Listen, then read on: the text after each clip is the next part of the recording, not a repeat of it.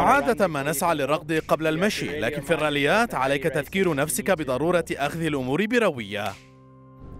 إنه بالفعل في خضم المنافسة وعليه خوضها. سنحاول ذلك.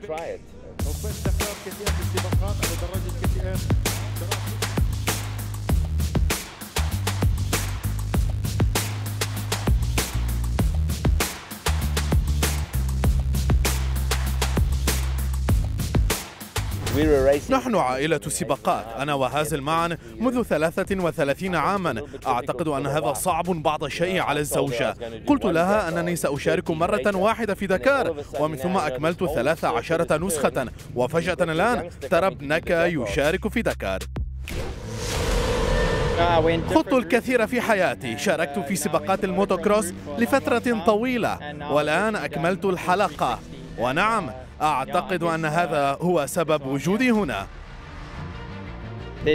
هناك الكثير من العوامل. الملاحة أمر مختلف تماما. وحالما تضع أولى قطع الأحجية تبدأ بالتقدم أكثر وأكثر. جئت لمحاولة تهدئته قليلا.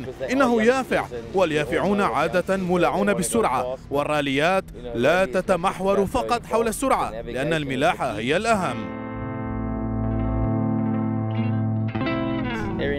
في كل ليلة خلال العشاء لدي شخص لأسأله وهذا أمر مساعد.